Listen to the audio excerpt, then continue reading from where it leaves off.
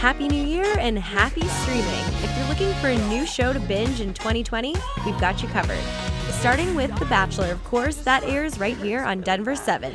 The series is back for its 24th season, and there's even more drama than ever. What are you doing here? Making decisions for my heart.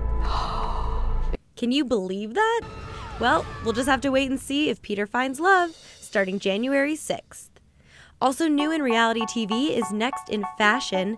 Tan France from Queer Eye and stylist Alexa Chung hosts the Project Runway Style show. That's on Netflix January 29th. And Netflix won't disappoint this month. Famous drag queen RuPaul stars in AJ and the Queen out January 10th. Take a look. How do I look? Like you need to eat something. I could learn to love you. Now, if you're in the mood for more of a drama, HBO has something real dark for you in The Outsider. When I was a kid, I didn't believe in anything. Not God, not the devil. But now I believe there's something else out there. Based on the best selling novel from Stephen King, you can expect this series to deliver lots of chills, starting the 12th. And the makers of Sherlock are back with a new series. Take a Bite into Dracula, January 4th. Now, this next show is about a dark, mysterious pope that we never really asked for. But take a look.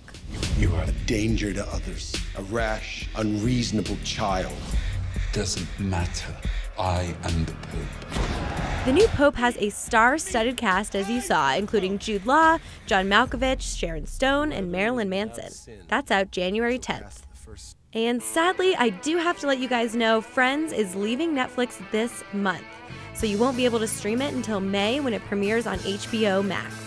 So I guess you'll just have to watch it the old fashioned way. I'm Abby Rosenblum, and if you missed any of that, head to thedenverchannel.com for the full list.